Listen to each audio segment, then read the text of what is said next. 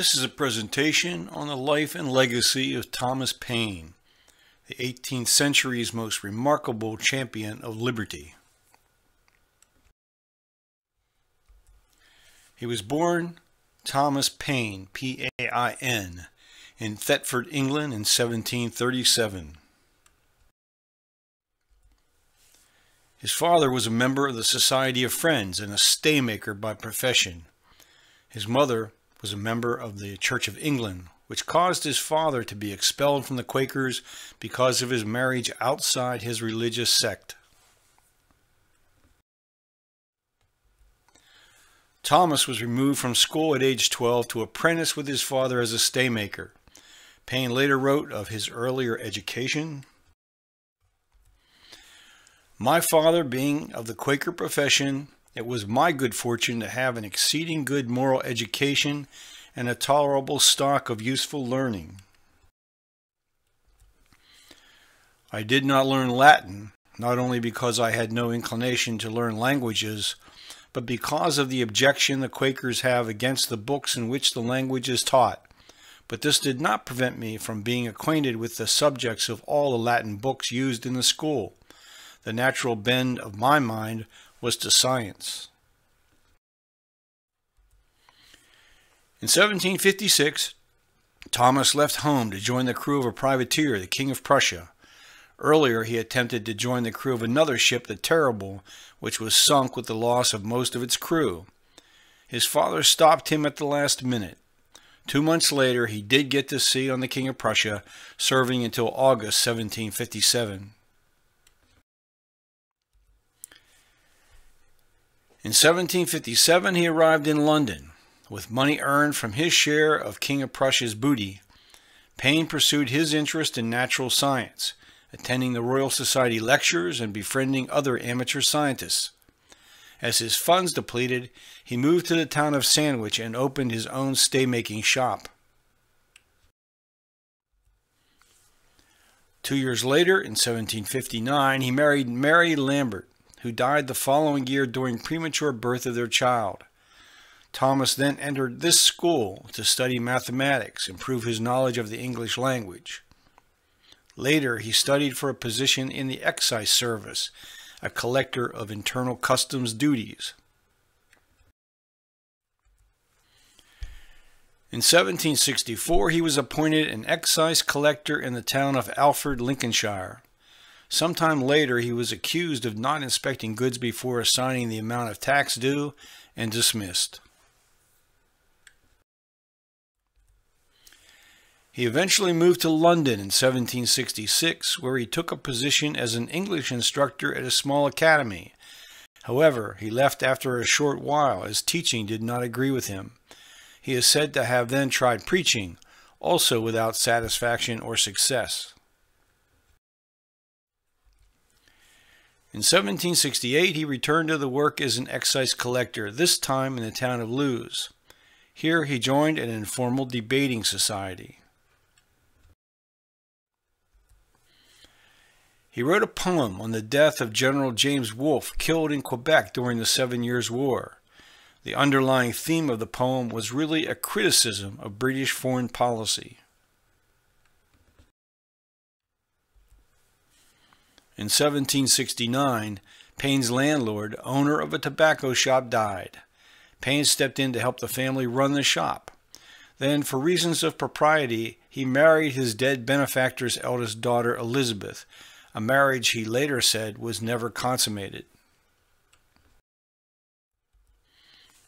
His employment as an excise officer was difficult and paid little. In an effort to get the attention of the members of Parliament, in 1772, Paine was asked by his fellow officers to put their case in writing. He wrote his first political pamphlet, The Case of the Officers of Excise. The pamphlet talks about general want among the English people caused by increasing prices and the desperation that poverty imposes on people. Poverty in defiance of principle, begets a degree of meanness that will stoop to almost anything. He who has never hungered may argue finally on the subjection of his appetite, and he who never was distressed may harangue as beautifully on the power of principle. But poverty, like grief, has an incurable deafness which never hears. The oration loses all its edge, and to be or not to be becomes the only question. For his trouble, Paine was eventually dismissed from his position, charged with being absent without permission to distribute pamphlets. Also, the tobacco shop soon failed and was sold at auction. He separated from his wife with 35 pounds as a financial settlement. Paine now wandered, searching for some meaning to his life. In 1772, he befriended the mathematician George L. Scott, who had been tutor to George III. And through Scott, he was brought into a circle of intellectuals that included Edward Gibbon, astronomer John Bevis, and, most importantly, Benjamin Franklin. It is his association with Franklin that will change his life forever. Franklin convinced Paine that his talents would find ready employment in North America. So in 1774, Paine departed from England. He traveled as a first class passenger and with a letter of introduction from Benjamin Franklin. This raises speculation on my part whether Paine was in fact enlisted by Franklin to convey messages to leading colonials that Franklin could not without risk of arrest by British authorities. Paine became quite ill on the ship and was bedridden for almost two months after arriving in New York. In the fall, he finally made his way to Philadelphia, where he immediately called upon Franklin's son-in-law, Richard Bache. As an indication of Franklin's influence and Paine's abilities, he soon secured the position of editor of the Pennsylvania Magazine. As was common for this era, he wrote under several pseudonyms. One of his first essays, written in 1774 and published early in 1775 in the Pennsylvania Journal and the Weekly Advertiser, attacked the institution of slavery he pointed to the moral conflict of the American position. That some desperate wretches should be willing to steal and enslave men by violence and murder for gain is rather lamentable than strange.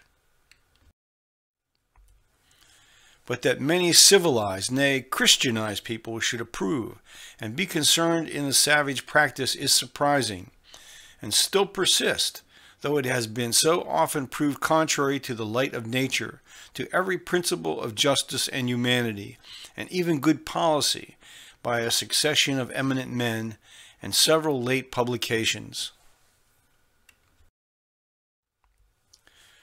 The colonials were themselves beginning to feel like the Africans they were enslaving. In 1775, Parliament passed an act banning trade between the New England colonies and any other country besides Great Britain. British forces in Boston, anticipating violence, sought to deny the militia ammunition stored at Concord.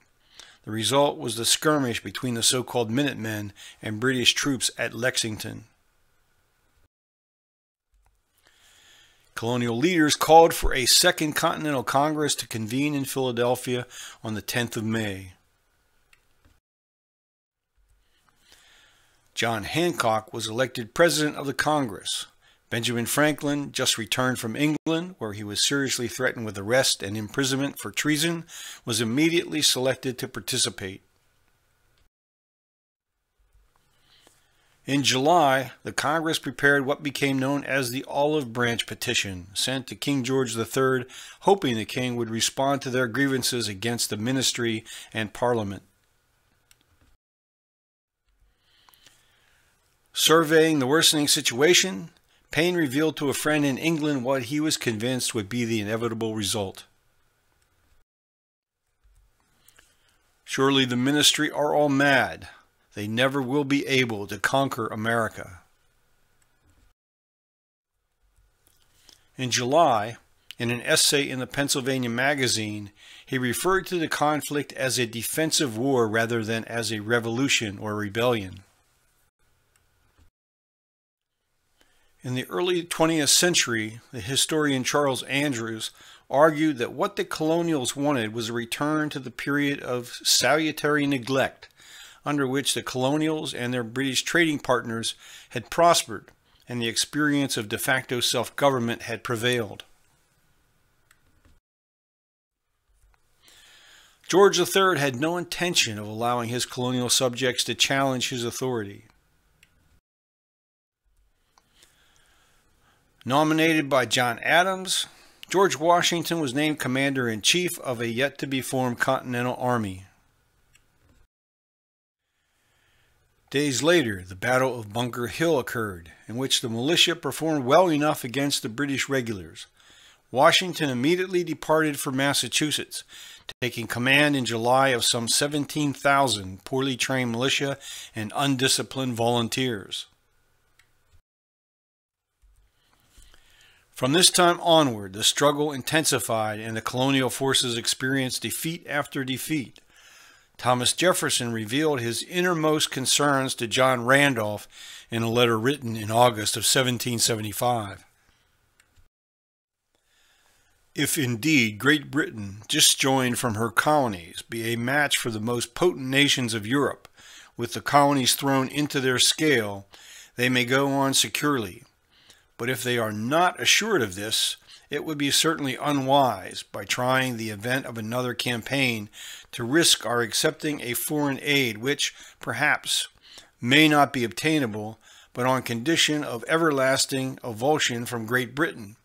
This would be thought a hard condition to those who still wish for reunion with their parent country. I am sincerely one of those, and would rather be in dependence on Great Britain, properly limited, than on any nation on earth, or than on no nation. But I am one of those two who, rather than submit to the rights of legislating for us, assumed by the British Parliament, and which late experience has shown they will so cruelly exercise, would lend my hand to sink the whole island in the ocean. The king's response was to declare the colonials in rebellion and send thousands of Britain's best troops to suppress the rebellion and capture the leaders. Any opportunity for negotiation and compromise passed. The colonials chose sides, and a war of attrition was the result.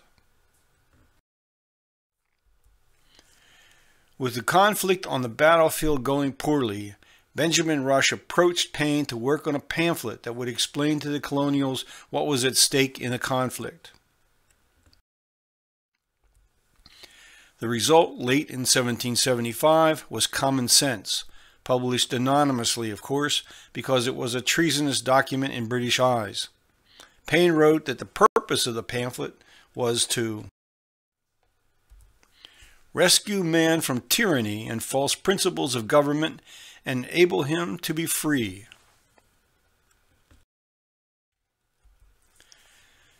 He attacked hereditary rule and monarchy and called for a representative system of government, a republic with a unicameral legislature, frequent elections, and a written constitution.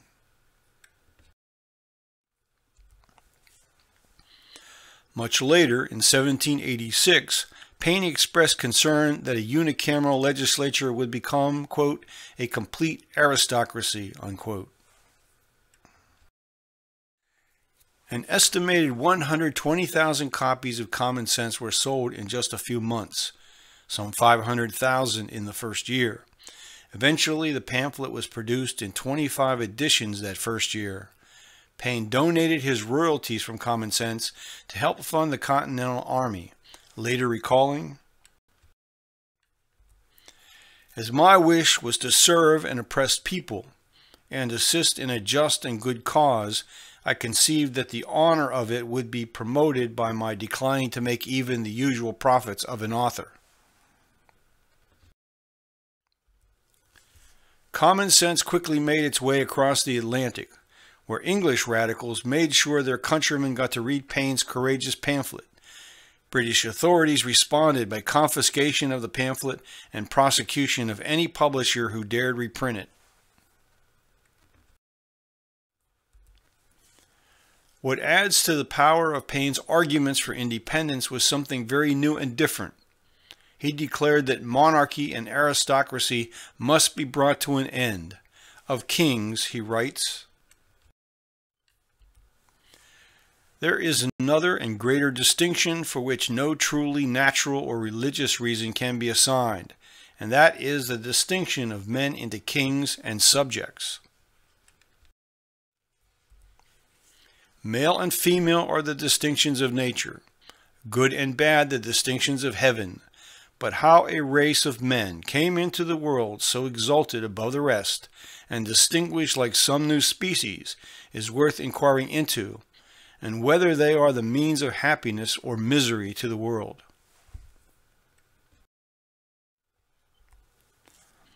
As the year 1776 progressed, the urgency of the situation evolved. The British pulled their troops from Boston and established Canada as their base of operations. The Americans tried but failed to capture Quebec. In May, the Continental Congress held the Virginia Convention, where Richard Henry Lee introduced a resolution for the colonies to become free and independent states. The Congress appointed a committee to draft the formal Declaration of Independence. The committee included Thomas Jefferson, Benjamin Franklin, John Adams, Robert Livingston, and Roger Sherman. This committee then chose Thomas Jefferson to write the first draft. The final declaration was signed on the 4th of July, 1776. Paine's role now became that of a war correspondent while serving as aide-de-camp to General Nathanael Greene. In December, Paine issued his first crisis paper in which he delivered his famous challenge. These are the times that try men's souls. The summer soldier and the sunshine patriot will in this crisis shrink from the service of his country but he that stands it now deserves the love and thanks of man and woman. Tyranny, like hell, is not easily conquered. Yet we have this consolation with us, that the harder the conflict, the more glorious the triumph. What we obtain too cheap, we esteem too lightly. Tis dearness only that gives everything its value. Heaven knows how to put a proper price upon its goods, and it would be strange indeed if so celestial an article as freedom should not be highly rated.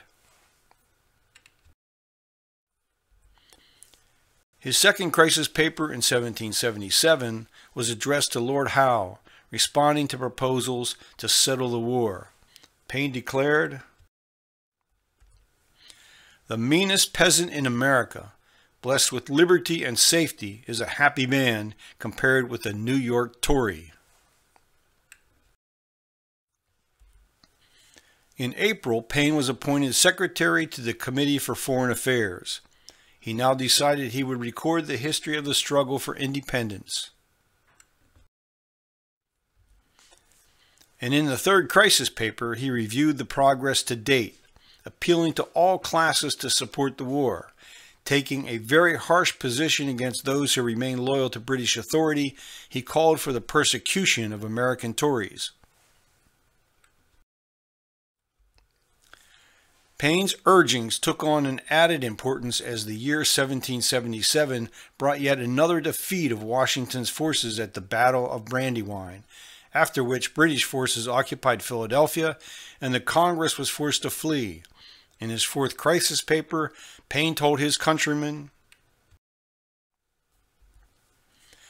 The nearer any disease approaches to a crisis, the nearer it is to a cure.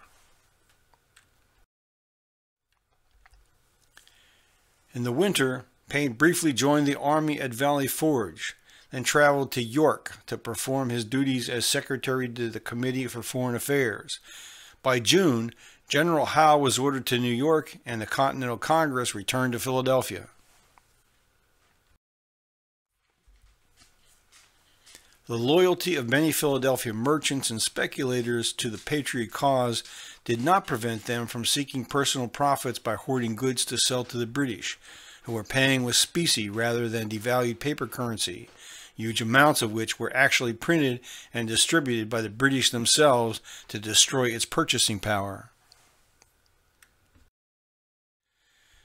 Paine's 1778 crisis paper was addressed to the people of England, challenging the English claim to having created the highest order political system. He observed that Britain's political system, instead of civilizing, has tended to brutalize mankind.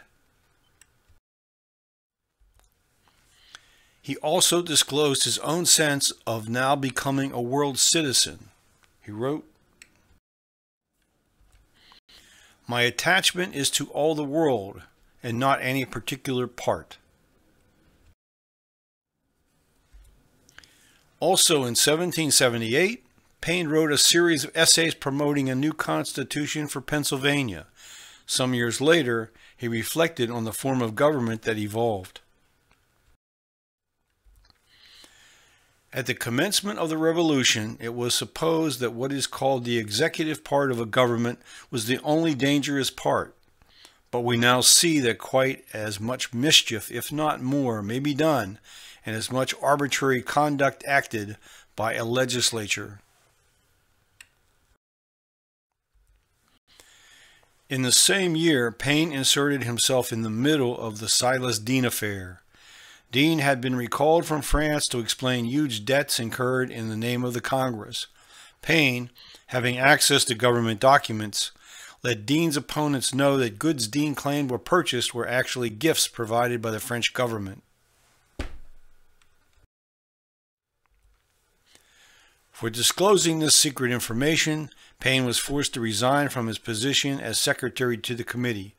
He was then hired by Owen Biddle to work as a clerk in Biddle's Philadelphia business. During 1779, the British military strategy shifted the conflict to the southern colonies, where the Loyalist population was largest. Paine's next crisis paper discussed Britain's legacy of debts and declared that America is beyond the reach of conquest. The war in the South seemed to be going well from the standpoint of the British. In 1780, Charleston fell to the British, and Paine urged Americans not to lose heart, that these setbacks would not affect the ultimate outcome. Still desperate for finances, a group of patriots formed the Bank of Pennsylvania. The capital of the bank was to be used for loans made to the government for the war effort. Paine was one of the first to subscribe as a shareholder. Years earlier, Paine wrote that a national debt bound the people together and was important for the war effort. What history reveals, however, is that few governments have paid for wars by taxing those who possess the most wealth, and therefore have the most to lose should a war be lost. In 1780, Paine turned his attention to the future. With independence and control over a vast territory eventually secured, he provided his thoughts on how the frontier lands ought to be treated in the pamphlet Public Good. He argued that all western lands, what was then the Northwest Territory, belonged to all the states collectively. Sale of these lands would, he stated, be an important source of income for the Congress. Unfortunately, he did not consider the future and the price future generations would have to pay just to acquire even a small piece of land. In recognition of some of the unresolved difficulties of governing the new nation, Paine also called for a convention to consider amendments to the Articles of Confederation. As late as 1781, the certainty of victory of the colonials over the British Army remained in question. The Continental Army was short on supplies and weapons. Paine volunteered to accompany John Laurens to France to assist Benjamin Franklin in an effort to secure French naval support and additional financial aid. Paine's role seems to have been the writing of reports on their progress back to the Congress. Paine actually decided not to return to America with Laurens, but eventually relented. They departed France on the 1st of June and arrived in Boston on 25th of August, where they arranged for transport of the war materials to Philadelphia. An army of some 5,500 Frenchmen under the Comte de Rochambeau landed in Rhode Island early in 1781. Rochambeau convinced George Washington that the best strategy would be to move their army south, while the French fleet under the command of the Comte de Grasse did the same. Their objective was the army under Lord Cornwallis at Yorktown in Virginia. In the beginning of September, de Grasse defeated a British fleet on its way to relieve Cornwallis, who was besieged by a force under the command of Lafayette. By late September, the American and French forces had Cornwallis surrounded, and the British were forced to surrender. By late October, George Washington was back in Philadelphia, the army encamped for the winter. From Paine, Washington received a letter in which Paine said he felt mistreated by the nation with which he had dealt generously and honorably. He informed Washington he was contemplating a return to Europe, where he said, I have literary fame, and I am sure I cannot experience worse fortune. Paine's expression of frustration raises the question of why he felt he had been mistreated by those with whom he had fought and served in the cause of independence. Was it a matter of financial reward or simply formal recognition of what his writing had meant to the nation? As stated earlier, one of Paine's planned projects was to write a history of the American Revolution. In France, the Abbe Raynal produced his own version of the conflict in 1781 titled The Revolution in America. Paine responded before the year's end with a critical review. Raynal concluded the American Revolution resembled all revolutions in history, to which Paine countered, it is in vain to look for precedents among the revolutions of former ages to find out by comparison the causes of this. Here, the value and quality of liberty, the nature of government, and the dignity of man were known and understood, and the attachment of the Americans to these principles produced the revolution as a natural, unavoidable consequence. Paine also referred to himself as a citizen of the world. He declared, The true idea of a great nation is that which extends and promotes the principles of universal society, whose mind rises above the atmosphere of local thoughts and considers mankind, of whatever nation or profession they may be, the work of the Creator. For Paine, the principles for creation of the just society are universal. He also believed they came to us from a conscious creator. Yet destructively, we demonstrate our free will by consistently rejecting those principles in the promotion of narrow self-interest.